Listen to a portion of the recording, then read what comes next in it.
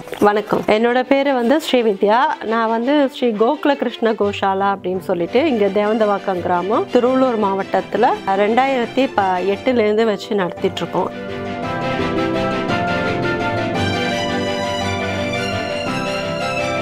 அப்போ இந்த இயற்கை விவசாயம் பண்றதுக்கு அத்தியாவசியமா நமக்கு ரெண்டு தேவை. ஒன்று வந்து பசுமாடு இன்னொன்று எருது மாடு. அப்போ அந்த பசுக்களை வந்து நம்ம வளர்க்க ஆரம்பிக்கும் போது தான் வந்து நிறைய பசுக்கள் வந்து அடிமாட்டுக்கு போகிறது அப்படின்றது நம்மளுக்கு தெரிய வந்தது.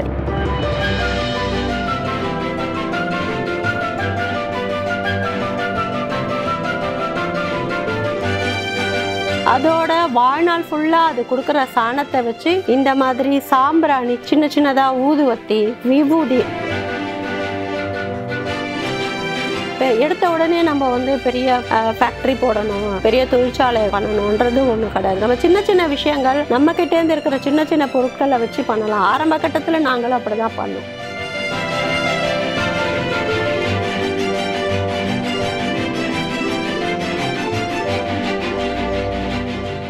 நான் வந்து முதல்ல சென்னையில் வந்து ஒரு தனியார் நிறுவனத்தில் வந்து வேலை பண்ணிட்டு இருந்தோம். இப்போ பார்த்தீங்கன்னா எங்கே பாரு வந்து இந்த கேன்சர் இன்ஃபெர்டிலிட்டி இந்த பிரச்சனைகள் நிறைய வரத்துக்கு காரணமே இந்த மாதிரி செயற்கை உரங்கள் தான். அதனால இயற்கை விவசாயம் பண்ணணும்னு சொல்லிட்டு நாங்கள் இங்கே இடம் வாங்கினோம். அப்போ இந்த இயற்கை விவசாயம் பண்ணுறதுக்கு அத்தியாவசியமாக நமக்கு ரெண்டு தேவை. ஒன்று வந்து பசுமாடு இன்னொன்று எருது மாடு. அப்போ அந்த பசுக்களை வந்து நம்ம வளர்க்க ஆரம்பிக்கும் போது தான் வந்து நிறைய பசுக்கள் வந்து அடிமாட்டுக்கு போகிறது அப்படின்றது நம்மளுக்கு தெரியும் தெரிய வந்தது. எதனால அடிமாட்டுக்கு போறதுன்றதுன்னா பால் இல்லாத போது அதோட பொருளாதாரம் எப்படி அதை வச்சு காப்பாற்ற முடியாதுன்னு போது அப்போ அந்த விவசாயிங்க வந்து அந்த மாடுங்களை வந்து விற்கிறாங்க அதனால தான் நாங்கள் வந்து அந்த மாதிரி வெட்டுக்கு போகிற சில பசுக்கள் எல்லாம் வந்து நாங்கள் வாங்க ஆரம்பிச்சு இங்கே பராமரிக்க ஆரம்பித்தோம் மேம் உங்களுக்கு வந்து நீங்கள் சென்னையில் ஒர்க் பண்ணீங்க தனியார் இருந்ததுலாம் எவ்வளோ சேலரி வாங்கிட்டு இருந்தீங்க? உங்களுக்கு அதுவே போதுமான ஒரு லைஃபாக தான் இருந்திருக்கும் ஆப்வியஸாக ஏன் இந்த மாதிரியான ஒரு திடீர் மாற்றங்கள்? இல்லை அது நீங்கள் சொல்கிறது சரிதான். ஆரம்ப கட்டத்தில் வந்து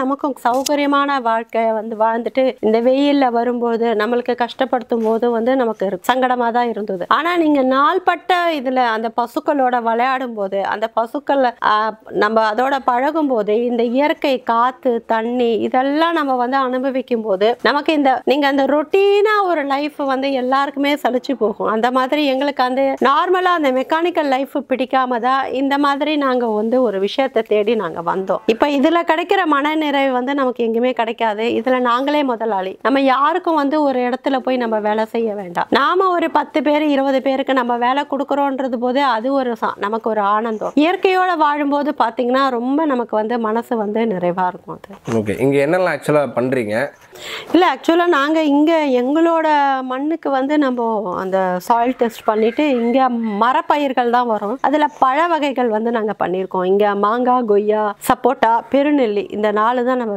வச்சுட்ருக்கோம். காய்கறி பயிர்கள் அப்பப்போ நம்ம வந்து இங்கே போடுவோம். நம்ம இப்போ முழு நேரம் வந்து பார்த்திங்கன்னா எங்ககிட்ட ஆயிரத்துக்கு மேற்பட்ட இப்போ மாடுகள் நிறைய மாடுகள் அதுக்கப்புறம் நாங்கள் வந்து கசாப்புக்கு போகிற பசுக்கள் காளைகளை வந்து வாங்க ஆரம்பித்ததுனால இங்கே நம்மளுக்கு பசுமாடோட எண்ணிக்கையும் அதிகம் ஆயிடுது. இப்போ நம்ம அது மூலமா பால் சிலது சில பசுக்கள் பால் கறக்கும் போது பால் பால் சம்பந்தமான பொருட்கள் அப்புறம் அந்த பசுமாடோட சாணம் கோமியம் அது சம்பந்தமான பொருட்கள் அதை எப்படி சந்தைப்படுத்துறது அதை மாதிரி விஷயங்கள்ல வந்து இப்போ நம்ம தேடி போறதுனால இப்போ அந்த மாதிரி விஷயமும் நம்ம பண்ணுவோம் நாங்க முதல்ல வந்து நான் சொன்னபடி இந்த பசுக்களை வந்து விவசாயத்துக்காக தான் நம்ம வந்து வாங்க ஆரம்பிச்சோம். அப்போ வந்து பால் கிடைக்கும் போது நமக்கு ஒரு நல்ல பால் கலப்படம் இல்லாத பால் ஃப்ரெஷ்ஷாக அப்போவே கறந்து குடிக்கிற பால் அந்த மாதிரி பார்க்கும்போது நமக்கு ஆசையாக இருந்தது. அதுக்கப்புறம் இந்த நிறைய பசுக்கள் வந்து இப்படி வெட்டுக்கு போகும்போது எதனால் வெட்டுக்கு போகுன்ற போது நமக்கு வந்து இந்த மாதிரி விஷயங்கள் வந்து கிடைச்சிது. சாணத்துலேருந்து இந்த மாதிரி வேல்யூ ஆட் பண்ணி நம்ம ப்ராடக்ட் பண்ணலாம்னு சொல்லிட்டு எங்களுக்கு அந்த விஷயம் கிடைச்சிது. ஸோ நம்ம போய் நார்த் இந்தியாவில் போயிட்டு நிறைய விஷயங்கள் நம்ம ட்ரைனிங் எடுத்துகிட்டு வந்தோம். இங்கே நம்ம சேலத்தில் ஒரு இடத்துல ஆத்மானந்தான்னு சொல்லிட்டு அவங்க வந்து பண்ணிட்டு இருக்காங்க. நம்ம நார்மலாக வந்து எல்லா இது வந்து நம்ம பாரம்பரியமாக நம்ம பெரியவர்கள் வந்து பண்ணது தான் அடுப்புக்கு வந்து பார்த்தீங்கன்னா இந்த வெரைட்டியை போட்டு எரிச்சிட்டு அந்த சாம்பலை எடுத்து நம்ம பல் தேய்ப்போம் அந்த சாம்பலை எடுத்து நெத்தியில் விபூதி கெட்டுப்போம். ஸோ அதிலலாம் பார்த்தீங்கன்னா ஆன்டிசெப்டிக் ஆன்டி இது நம்மளுக்கு நல்லதுன்னு சொல்லிட்டு நம்ம அதை வந்து உ- உபயோகப்படுத்திட்டு இருந்தோம். இப்போ புதுசாக நாம் எதுவுமே ஒன்றும் கண்டுபிடிக்கல. அது மறைஞ்சதை எல்லாத்தையுமே இப்போ ப- பழச ப- பழமை எல்லாருமே இப்போ தேடி அந்த கண்டுபிடிக்க போகும்போது தான் நமக்கும் வந்து இந்த மாதிரி கிடைச்சது. அதுக்கப்புறம் இந்த சின்ன சின்ன விஷயங்கள் இன்னும் பெரிய விஷயங்கள் பார்த்தீங்கன்னா இதில் செங்கல் பண்ணுறது பெயிண்டிங் பேக்கிங் பண்ணுறது இதெல்லாம் வந்து இன்னும் அட்வான்ஸ்டாக வந்து நம்ம வந்து கோஷாலால பண்ணிட்டு இருக்கோம் என்னென்ன ப்ராடக்ட்ஸ்லாம் வந்து பண்றீங்க? ஆஹ் ரெண்டு மாடு வச்சுட்டு இருந்தாலே போதும். அதாவது நான் முதல்ல வந்து என்னோட விழிப்புணர்வையோ நான் என்ன கத்துண்டதோ கொண்டு சேர்க்கணும்னு நினைக்கிறது கிராமப்புறங்களை தான். ஏன்னா கிராமப்புற மக்களுக்கு தான் கிராமப்புற பொருளாதாரத்தை தான் நம்ம முன்னேற்றணுமே. ஏன்னா ஒரு நாட்டோட கிராமம் உயர்ந்தாதான் நகரம் உயரும். அது ஆக்சுவலாக வந்து கிராமத்தில் இருக்கிறவங்க வந்து இந்த பசுக்கள் வந்து பால் இல்லை நம்ம அடுத்தது அதை சந்தைக்கு வித்துடலாம் அப்படின்னு நினைக்காம அதோட வாழ்நாள் ஃபுல்லா அது கொடுக்குற சாணத்தை வச்சு இந்த மாதிரி சாம்பிராணி சின்ன சின்னதா சாம்பிராணி வரட்டிலாம் நம்ம அந்த கால பாட்டிகள் எல்லாமே தட்டியிருப்பாங்க. அதை எப்படி ஒரு நீட்டா பேக் பண்ணி எப்படி அதை சந்தைப்படுத்துறது? சின்ன சின்னதா ஊதுவத்தி விபூதி நல்ல சுத்தமான விபூதி வந்து பாத்தீங்கன்னா ஆஹ், கிடைக்கல. நமக்கு அந்த மாதிரி சுத்தமான விபூதி அந்த மாதிரி பண்ணலாம். இப்போ அவங்களுக்கு தான் முதல்ல வந்து நம்ம இந்த விழிப்புணர்வு எடுத்துட்டு அந்த மாதிரி இயற்கை விவசாயம் பண்ணணுன்றவங்களுக்கு முக்கியமா விவசாய நண்பன் வந்து மண்புழு உரம் இல்லையா? அப்ப அந்த மண்புழு உரம் வந்து பண்றதுக்கு நமக்கு மாட்டோட சாணம் வேணும். அதை தவிர்த்து ஜீவாமிர்த கரைசல் பஞ்சகவ்யம் இந்த மாதிரி பஞ்சகவ்யத்துக்குலாம் பார்த்தீங்கன்னா நிறைய ஒரு டிமாண்ட் இருக்கு. இயற்கையான உரம் அது நம்ம செடிக்கு தெளிக்கும் போது நேரடியாக தெளிக்கலாம் மண்ணுல நேரடியாக விடலாம். அப்போ அந்த மாதிரி அதை அந்த ப்ராடக்ட் எல்லாம் நம்ம நிறைய பண்ண ஆரம்பிச்சாலே போதும். நமக்கு வந்து ஈஸியாக வந்து இதை வந்து நம்ம சந்தைப்படுத்தலாம். நான் சொன்னபடியே ரொம்ப மாடெல்லாம் வேணும்னு இல்லை. ஒரு ரெண்டு மாடு இருந்தாலே போதும். ஏன்னா ஒரு ரெண்டு மாடு ஒரு நாளைக்கு பத்து கிலோ சாணி நமக்கு கொடுக்கும். அந்த பத்து கிலோ சாணியை வந்து நம்ம பிரித்து ஒரு ரெண்டு தொட்டி போட்டால் போதும் மண்புழு உரம். அதுக்கு வந்து இந்த பிளாஸ்டிக் தொட்டி மாதிரி பார்த்தீங்கன்னா அரசாங்கத்திலே வந்து நமக்கு கொடுக்குறாங்க. மானியத்தோட கொடுக்குறாங்க. இந்த தோ செடி வளர்க்குறது மாடி தோட்டம் பண்ணுறது இதுக்கெல்லாமே வந்து அரசாங்கம் நமக்கு நிறைய உதவி செய்யறது. ஸோ அந்த மாதிரி ரெண்டு தொட்டியை வாங்கி நம்ம இந்த சாணியை போட்டு ஒரு ஒரு நூறு கிராம் புழு எடுத்துன்னு வந்து விட்டாலே போதும். அது மூலமாக உரம் ரெடி பண்ணி. மாசத்துக்கு ஒரு கிலோ ஏழு ரூபாயிலேருந்து பத்து ரூபா வரைக்கும் நல்ல மண்புழு உரம் நம்ம வித்தாலே போதும். நமக்கு ஒரு பொருளாதாரம் கிடைக்கும். அதை தவிர்த்து இந்த பஞ்சகவியம் நம்ம அந்த ரெண்டு மாட்டுல இருந்து பால் எடுத்து நெய் எடுத்து இந்த பஞ்சகவியம் ரெடி பண்ணலாம். சாம்பிராணி. இதுக்கெல்லாம் நீங்க ஒன்றும் பெரிய இடம் வேண்டாம். நம்ம பின்னாடி மாட்டுக்குன்னு கட்டுறதுக்கு ஒரு மாட்டு தொட்டி இருந்தா போதும். அங்கேயே செய்யலாம். பெ- எடுத்த உடனே நம்ம வந்து பெரிய ஃபேக்ட்ரி போடணும். பெரிய தொழிற்சாலை பண்ணணும்ன்றது ஒன்றும் கிடையாது. நம்ம சின்ன சின்ன விஷயங்கள் நம்ம கிட்டேருந்து இருக்கிற சின்ன சின்ன பொருட்களை வச்சு பண்ணலாம். ஆரம்ப கட்டத்தில் நாங்களும் அப்படிதான் பண்ணோம். நம்மளுக்கு ஏன்னா இப்போ வந்து நல்ல பொருட்களை வந்து மக்கள் தேடி வராங்க. இயற்கை பொருட்களை மக்கள் தேடி வராங்க. நம்ம அந்த மாதிரி இடத்துல பார்த்து நம்ம சந்தைப்படுத்துறது தான் வந்து ரொம்ப முக்கியம். அதெல்லாம் வந்து எவ்வளோ மேம் நீங்கள் ஆன்லைனுக்கு எவ்வளோ பண்ணுறீங்க மந்த்லி இப்போ என்னை பொறுத்த வரைக்கும் பார்த்தீங்கன்னா நான் வந்து ஆன்லைனில் வந்து பண்ணலை. ஏன்னா எனக்கு கஸ்டமர்ஸ் வந்து டைரெக்டாகவே என்னோட கஸ்டமர்ஸ் இருக்காங்க. வேற ஒருத்தர்கிட்ட விற்காம நாமளே வந்து நேரடியாக விற்பனை பண்ணும்போது நமக்கு நல்ல லாபம் வரும். இப்போ நாங்களே பார்த்தீங்கன்னா வரட்டி வந்து ஒரு அஞ்சு வரட்டி வச்சு பேக் பண்ணி அது ஒரு இருபது ரூபான்னு கொடுக்குறோம். அதே நீங்கள் நார்மலாக ஒரு வரட்டினா வரட்டி தானே அப்படின்னு சொல்லிட்டு ஐம்பது பைசா ஒரு ரூபாய் கேட்பாங்க. ஸோ நம்ம அதை வந்து எப்படி நம்ம பேக்கிங் பண்ணி கொடுக்குறோன்றதுன்றது ரொம்ப முக்கியம். மேம் நீங்கள் ஆனால் அஞ்சு ஆறுன்றீங்க.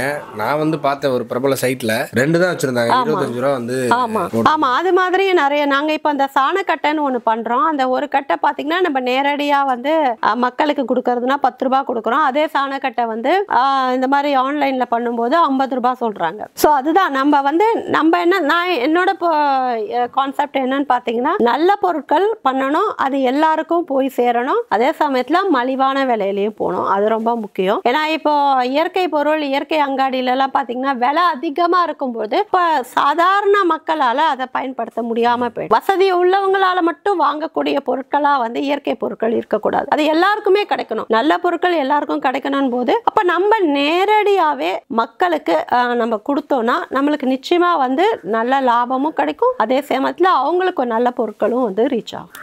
இப்போ சாணம் பெரிய மார்க்கெட்டாக மாறி இருக்கிற இந்த ஒரு நிலையை வந்து எப்படி பார்க்குறீங்க நீங்கள் ரொம்ப சந்தோஷமா இருக்கு. ஏன்னா எல்லா விலங்குகளோட இதுவும் வந்து நமக்கு உபயோகம் தான் எதுவுமே வந்து பாத்தீங்கன்னா ஒரு நார்மலா வந்து இந்த வேப்பங்குச்சி ஆலங்குச்சி நம்ம அதை வேண்டாம்னு சொல்லிட்டு கிராமத்துல உடைச்சு போறாங்க அதை எடுத்து மார்க்கெட்டிங் பண்றவங்க இருக்காங்க. அதே மாதிரி இந்த ஆட்டு புழுக்க அதை எடுத்து வியாபாரம் ஸோ நம்ம பார்க்கறது தான் எல்லாமே நம்மளோட பார்வைகள் தான் இருக்கு. அதுவும் இல்லாம இப்போ நிறைய வந்து இந்த செயற்கை மக்கள் பயன்படுத்தி பயன்படுத்தி ஒரு கட்டத்துக்கு மேல அவங்களுக்கே அந்த அலுப்பு தட்டி இயற்கைகளை நோக்கி இப்போ வர ஆரம்பிச்சிருக்காங்க. இது ரொம்ப ஆரோக்கியமான முக்கியமான விஷயம். இப்போ வந்து பார்த்தீங்கன்னா நாங்களே வந்து இப்போ இந்த சாணம் மூலமா கட்டை ரெடி பண்றோம். ஒரு காலத்துல மரத்தை வெட்டினாதான் கட்டை அப்படின்றது இல்லாம இப்ப சாணக்கட்டைகள் நிறைய பேர் பண்றாங்க. இப்போ சாணத்திலே பேப்பர் பேப்பர் பண்ணிட்டு இருக்காங்க ஸோ இப்போ அதே மாதிரி இந்த பயோகேஸ் ஒரு முக்கியமான விஷயம். இப்போ சாணத்துல இருந்து அடுத்தது வந்து மின்சாரம் ரெடி பண்ண போறாங்க. நமக்கு ஏன்னா மின் தட்டுப்பாடு. நம்ம எல்லாமே விண்டு யூஸ் பண்ணிட்டோம் அணு யூஸ் பண்ணிட்டோம் தண்ணியில யூஸ் பண்ணிட்டோம். அடுத்தது இப்போ சாணம் மூலமா நமக்கு வந்து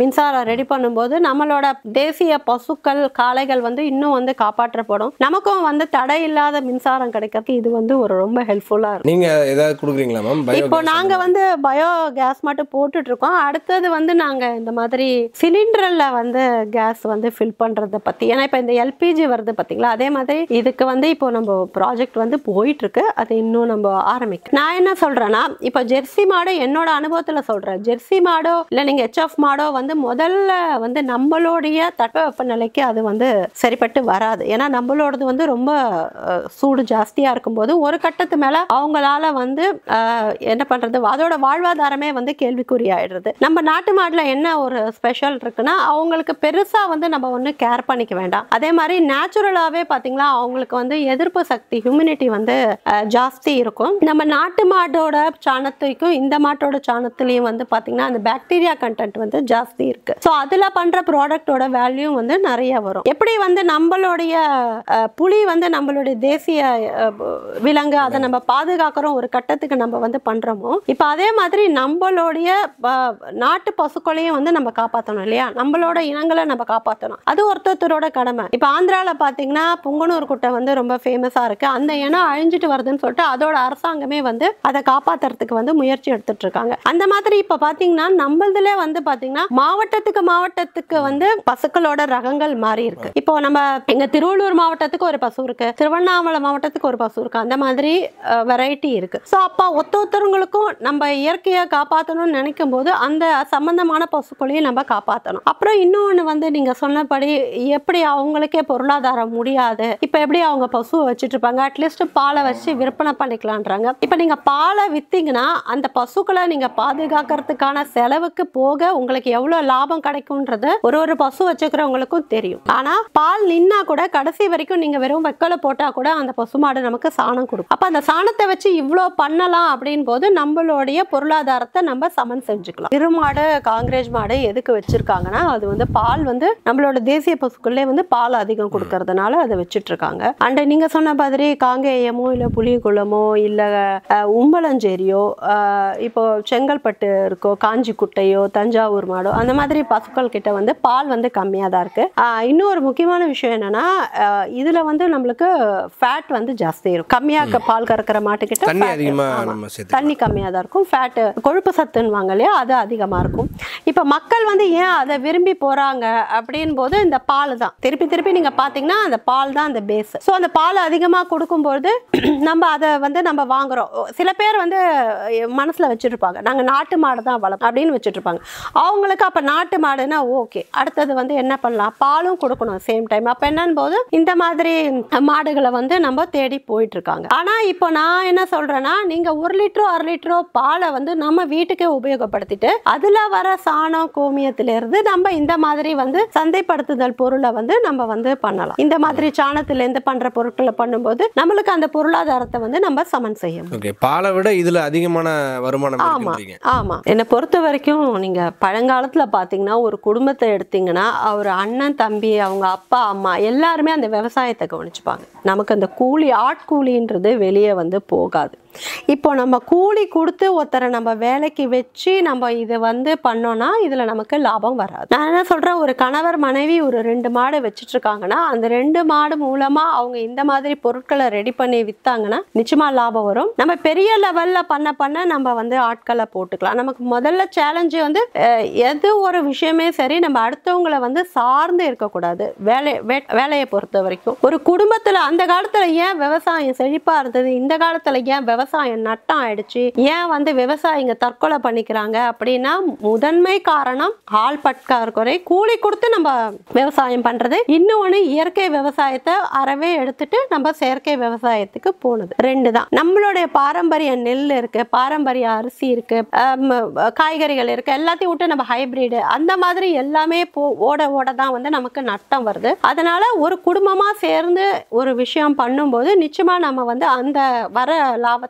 நம்மளுக்குள்ளே பிரிச்சுக்கும் போது நமக்கு வந்து நட்டம் வராது. நான் ஏதாவது ஒரு நிகழ்ச்சிக்கு போனாலே மாட்டுக்காரி வரா மாட்டுக்காரி வரான்னு சொல்லுவாங்க. பட் நான் அதை என்றைக்குமே வந்து நான் கேவலமாக நினச்சது கிடையாது. ஏன்னா இப்போ நீங்கள் ஒரு ஒரு நிகழ்ச்சிக்கு போகிறோன்னா ஃபஸ்ட்டு போனோன்னா நம்ம எல்லாருமே காஃபி குடிப்போம் ஆப்வியஸ்லி இப்போ காஃபிக்கு அந்த பால் வந்து நம்ம மாட்டுக்கிட்டே தான் வருது. என்ன இருக்கோ இல்லையோ ஒரு கல்யாணத்துக்கு போனால் சாப்பாடு முக்கியம். அது கொடுக்குறோம் ஒரு விவசாயி தான். ஸோ அது வந்து யாரும் கேவலமாக நினைக்காதீங்க. கம்ப்யூட்டரில் ஏசி கீழே உட்காந்துட்டு இருக்கிறது தான் வந்து கௌரவம் கிடையாது. இப்போ வந்து நான் தெரிஞ்ச அளவுக்கு எங்கள் வீட்டில் யாருக்குமே எல்லாருமே வேலை செய்கிறாங்க சம்பாதிக்கிறாங்க லட்சக்கணக்கில். ஆனால் நான் தெரிஞ்ச அளவுக்கு யாருக்குமே யாரையும் தெரியாது. நான் எங்கே போனாலுமே பத்து பேருக்கு எனக்கு தெரியும்.